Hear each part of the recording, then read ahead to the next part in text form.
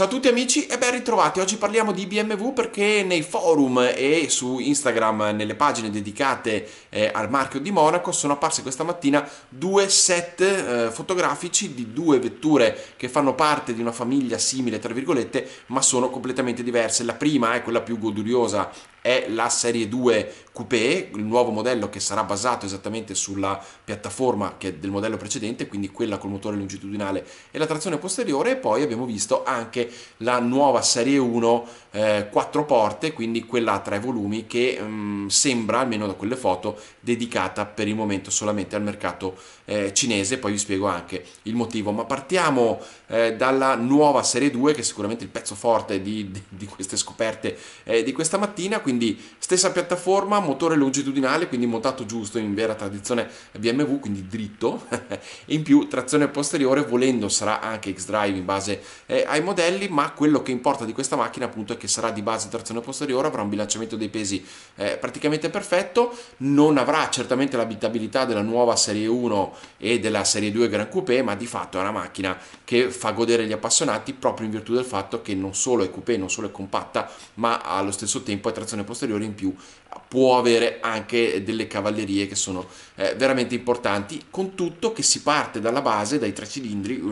che sono motori eh, che comunque sono sostanzialmente una frazione dei sei cilindri, sono tecnologicamente molto avanzati, sono fatti davvero molto bene, sono leggeri, per cui anche a fronte di potenze molto com- contenute riescono ad offrire performance alla macchina abbastanza interessanti. Eh, con questo però appunto la precedente generazione, ci rifacciamo poi i numeri precedenti perché poi bisognerà vedere BMW cosa farà realmente su questa nuova gamma che forse tenderà a essere un filino più specialistica rispetto a quella eh, precedente, eh, appunto parte dai 136, anzi partiva dai 136 cavalli del 1500 eh, 3 cilindri, arrivava poi ai 184 eh, cavalli della 220i col motore 4 cilindri, già qui iniziamo ad avere un motorino, secondo me che è un giusto rapporto tra la potenza, il costo e anche eh, la, appunto la caratteristica di, ar- di, architettura del motore stesso. E poi arriviamo anche qui sempre col 4 cilindri motorizzazione interessante a 185 kW siamo proprio a filo filo filo del, eh, del Superbollo non credo che lo paghi. Penso che siamo proprio dentro per un millimetro. Eh, 46.900 euro al prezzo della macchina 230 IM Sport appunto con una velocità massima eh, di 250 km/h 1430 kg di peso, per cui sicuramente una macchina interessante per quanto riguarda le prestazioni e chiaramente capace, grazie al motore eh,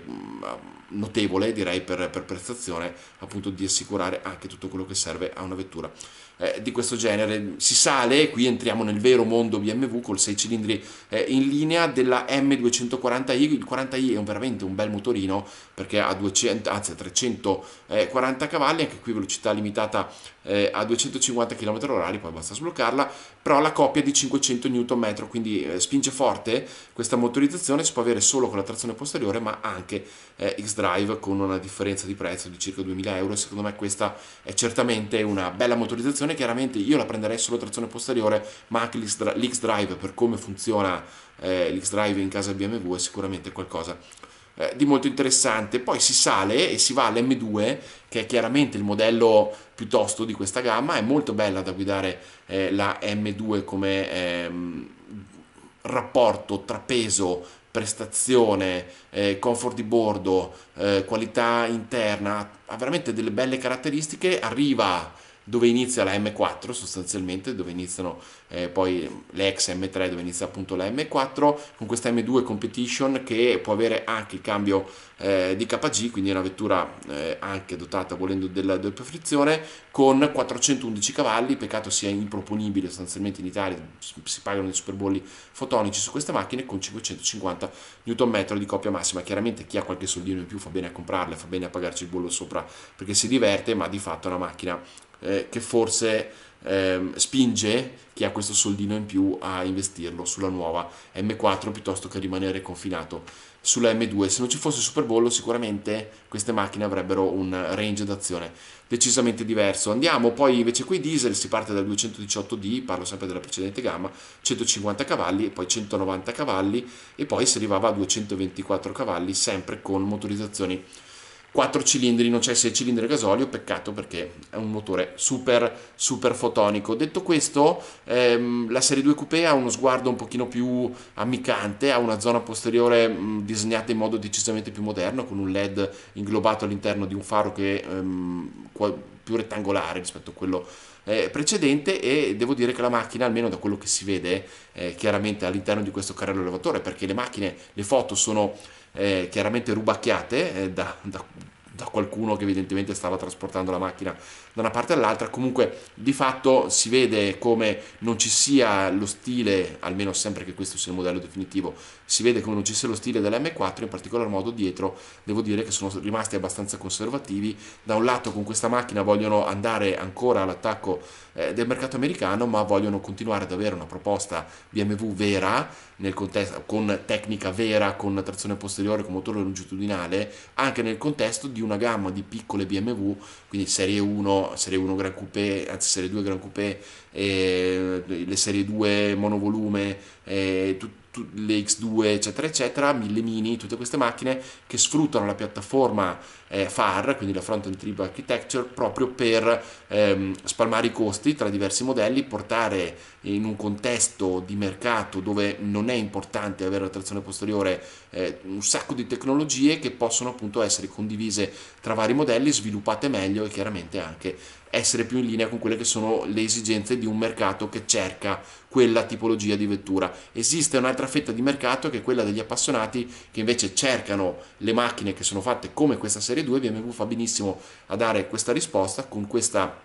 eh, coupé con la trazione posteriore motore longitudinale che continuerà a far godere eh, gli appassionati. Per cui esattamente come fa Porsche, che alla comparsa dei turbo tutti si erano ehm, eh, scandalizzati per il fatto che sarebbero spariti gli aspirati, beh sul GT3 ad esempio l'aspirato continua ad esserci e continua ad esserci anche sul GT4, sulla 718 Spider e arriverà ancora su altri modelli in futuro. Per cui ehm,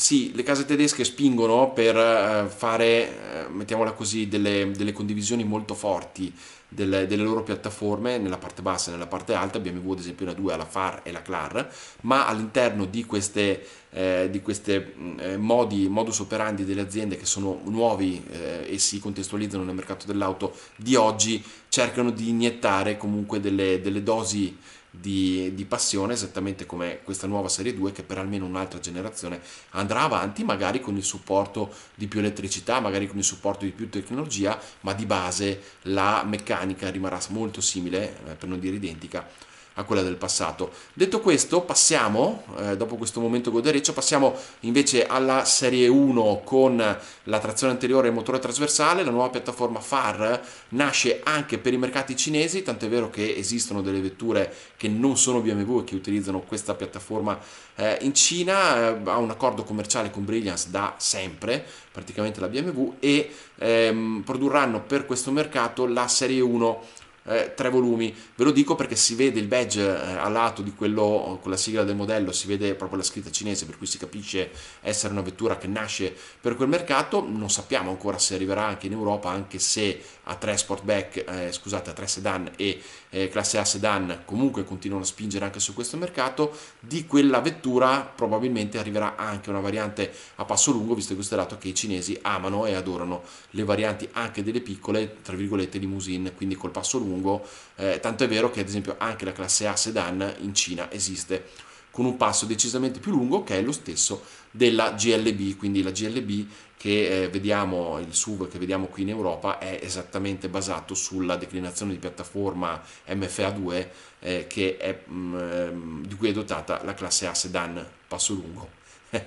in Cina. Eh, con questo tutte le gamme motori, eh, in particolar modo ovviamente i benzina, perché non credo che in Cina spingano sui diesel, arriveranno sotto al cofano eh, di questa serie 1. Non credo ci sarà la variante più potente, anche se, perché no, potrebbero farla quella da 306 cavalli. Chiaramente questa vettura, se arriverà eh, nel mercato europeo dovrà puntare anche eh, sui motori a gasolio che fanno parte della gamma eh, motori di serie 1 ehm, tradizionale, quella a 5 porte e fanno parte anche i diesel della gamma della serie 2 Gran Coupé che altro non è appunto che la serie 1 con eh, la linea posteriore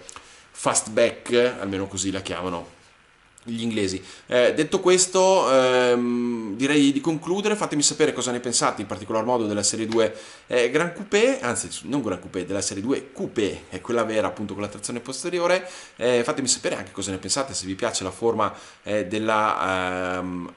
serie 1. Ormai non mi confondo anch'io con i nomi dei modelli, con la serie 1 eh, Sedan, che appunto sarà per il mercato cinese. Fatemi sapere, magari la volete anche voi sul mercato italiano e magari comunichiamo già a BMW il fatto che voi siete interessati a questo modello e magari decidono, perché no, eh, di importarlo. Con questo è tutto, non mi rimane che invitarvi a commentare su YouTube, su Facebook, naturalmente su automoto.it. Viva la passione per l'auto e full gas così sempre. Ciao!